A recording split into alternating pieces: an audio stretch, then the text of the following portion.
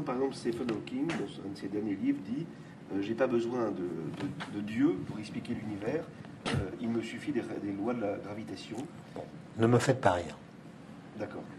D'accord C'est-à-dire- D'abord, est-on sûr de l'existence de Stephen Hawking D'abord, Stephen Hawking n'écrit pas ses livres, Voilà. comme vous le savez, il ne peut pas le faire. Il a écrit un, un livre euh, il y a quelques années qui s'appelait Une brève histoire du temps.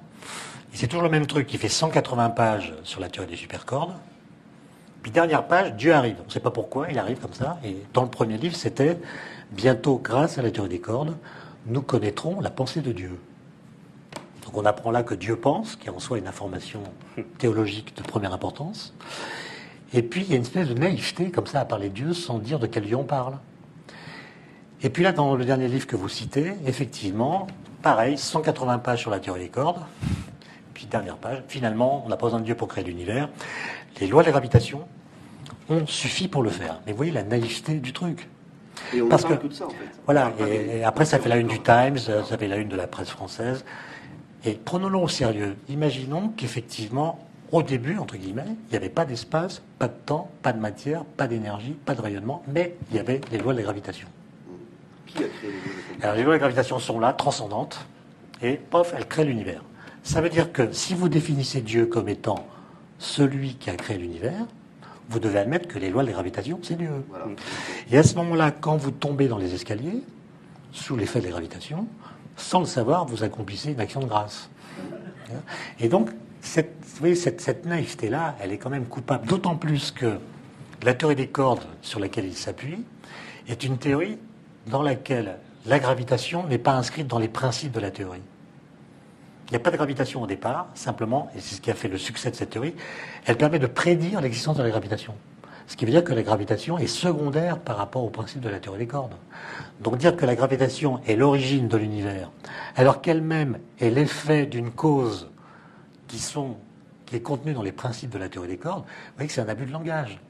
Et donc, là, je vous rejoins quand les scientifiques font de la publicité mensongère. Ils font des promesses comme au début, enfin la fin du XIXe siècle. C'est ce que les Américains appellent du hype, une publicité exagérée, avec une naïveté confondante. Par exemple, jamais on interroge le lien qu'il y a entre l'origine de l'univers et l'univers lui-même. Est-ce que l'origine fait partie de l'univers ou est-ce que l'origine est transcendante par rapport à l'univers? Et lorsqu'on est physicien, on est condamné, lorsqu'on parle de l'origine de l'univers, à invoquer des lois physiques, ce qui pose la question du statut des lois physiques par rapport à l'univers. Est-ce qu'elles étaient là avant ou pas vous, Est-ce que vous croyez en Dieu? Mais de Alors quel Dieu vous parlez? C'est-à-dire C'est-à-dire de quel Dieu vous parlez? Est-ce que vous parlez d'un principe créateur Bon, une sorte d'entité transcendante qui a déclenché l'univers? Bon, j'ai écrit un livre là-dessus. hein. Je vous rappelle que nous n'avons pas la preuve scientifique aujourd'hui que l'univers a une origine. Et nous n'avons pas non plus la preuve scientifique qu'il n'en a pas eu. Autrement dit, la question l'univers a-t-il eu une origine? Est une question ouverte. Et quand je, parle du mot origine, là, je parle d'une origine absolue. C'est-à-dire, il n'y a absolument rien, puis tout d'un coup, il y a une première chose. La transition entre le non-être et l'être, c'est ça l'origine. Si vous dites qu'à l'origine, il y a telle et telle chose, vous allez poser la question de savoir de quoi cette chose dérive-t-elle. Et donc, vous n'avez pas décrit l'origine, sauf à invoquer une, cause première qui était présente de toute éternité. Et vous voyez que la, la question de l'origine, c'est une question très difficile.